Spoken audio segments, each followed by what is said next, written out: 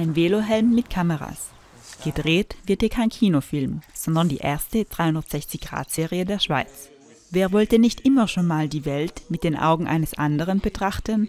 Um wirklich die ganze Perspektive eines Menschen filmen zu können, haben wir hier einen speziellen Prototypen gebaut mit fünf Kameras, die insgesamt 360 Grad aufnehmen.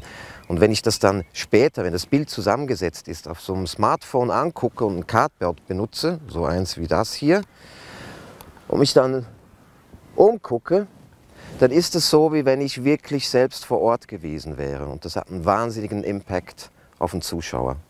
Durch die Geschichte von Paul, Amare und Lea zeigt die Filmcrew die digitale Medienwelt der Teenager und ein wichtiges Thema, Mobbing und Cybermobbing. Für Noemi alias Lea wird die Schule zum Drehort. Ich bin Lea. Ich mag Musik und alles, was mit Mode zu tun hat. Wenn ich einmal groß bin, möchte ich ein YouTube-Star werden und einen eigenen Kanal mit vielen Abonnenten haben. Es war spannend, weil der Helm war auch sehr schwer, aber es war cool.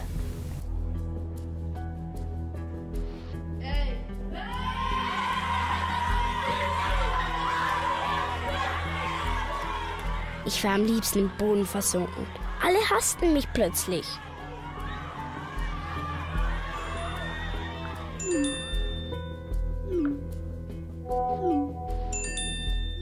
Zu Hause ging es dann erst richtig los. Also es gab einmal eine Zeit, da war ein Junge aus unserer Klasse gemobbt geworden. Also ein paar haben extrem doof zu ihm getan.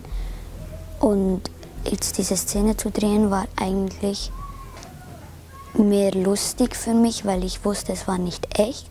Aber wenn es jetzt echt würde werden oder so, dann wäre es äh, eigentlich schon schlimm. Richtig anschauen kann man die Serie nur mit einer speziellen Brille. So ein Cardboard kostet ca. 15 Franken. Eltern können so in die Rolle ihrer Kinder schlüpfen.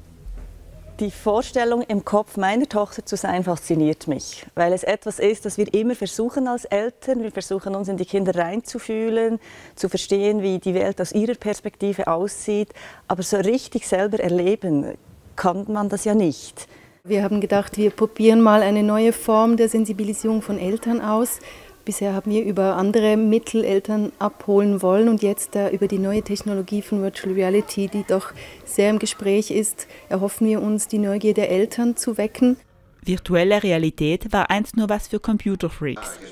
Heute ist die Technologie allen zugänglich.